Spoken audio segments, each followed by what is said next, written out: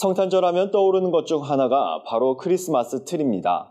거리 곳곳에서 크고 화려한 트리를 쉽게 볼 수 있는데요. 자칫 성탄 본연의 의미가 퇴색되는 건 아닌지 우려됩니다. 이런 가운데 예수 그리스도의 탄생을 축하하는 특별한 트리를 만드는 곳이 있어 찾아가 봤습니다. 조유현 기자입니다. 언제부턴가 크리스마스가 다가오면 거리 곳곳에선 휘황찬란한 트리를 어렵지 않게 볼 수 있습니다. 하지만 성탄목은 알고 보면 굉장히 소박한 장식에서 유래됐습니다. 기원전 주후 6, 7세기경 유럽의 성탄전야 연극에서 낙원의 배경으로 생명나무를 세우며 시작된 성탄목은 구원의 이야기가 담긴 상징물 단 4개의 장식으로 꾸며졌습니다. 그것은 타락을 상징하는 에덴 동산의 선악과인 사과와 이사야 35장에 등장하는 메마른 광야에 핀 장미꽃, 생명의 떡을 의미하는 과자빵, 그리고 세상의 빛이신 예수님을 상징하는 촛불, 이렇게 네 가지입니다. 그러나 오늘날 교회에서조차 이런 성경적 의미를 실현한 트리를 찾아보기 힘들어 성탄 본연의 의미까지 퇴색돼 가는 것이 아니냐는 우려의 목소리가 나옵니다.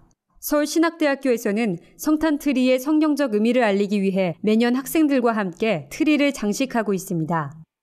백화점 트리와 교회 트리가 똑같다는 것은 말이 안 되잖아요. 복음에 충실한 트리, 성경적인 트리를 설치함으로써 항상 우리가 무엇을 하든지 복음으로 돌아가는 어, 복음을 나타내고 표현하는 새문안 교회는 2001년부터 매년 교회와 광화문 역사 안에 성경적 의미를 담은 트리를 설치하고 있습니다.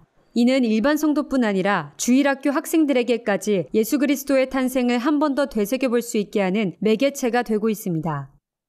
이제 교육부를 담당하고 있다 보니까요. 이제 저희 아이들 같은 경우에 이제 성탄목이 어, 세상의 성탄목과 그리고 교회 안에 있는 성탄목이 다르다 보니까 어, 거기에서 이제 궁금증들이 생겨나게 되었고 어, 교역자들과 선생님들이 이 성탄목의 의미에 대해서 설명하다 보니까 이 성탄목의 진정한 의미가 무엇인지에 대해서 성탄 트리를 통해 성탄절의 진정한 주인은 예수님을 기념하며 기뻐하는 성탄절이 되기를 기대해 봅니다.